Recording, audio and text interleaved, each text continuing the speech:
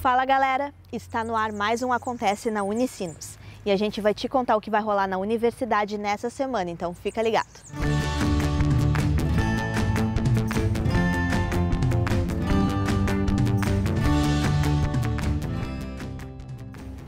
A primeira dica é a Semana de Pesquisa e Desenvolvimento. Vão ser apresentados projetos realizados em empresas que contemplam a formação acadêmica dos alunos de engenharia da Unicinos. O evento é gratuito e também oferece uma feira de oportunidades aos estudantes. Acesse o site para conferir a programação completa.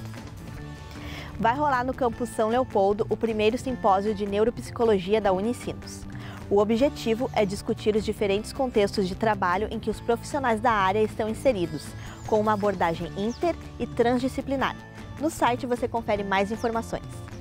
O caminho para empreender frente aos desafios contemporâneos.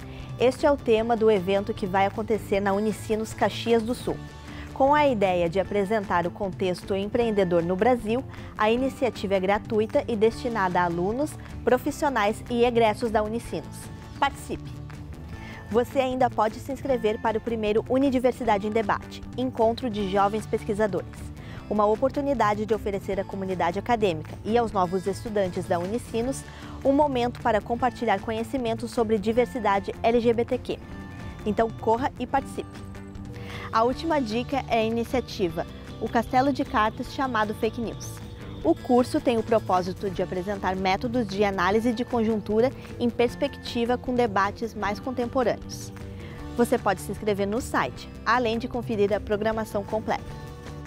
O Acontece na Unicinos fica por aqui, mas semana que vem a gente volta com mais novidades. Tchau!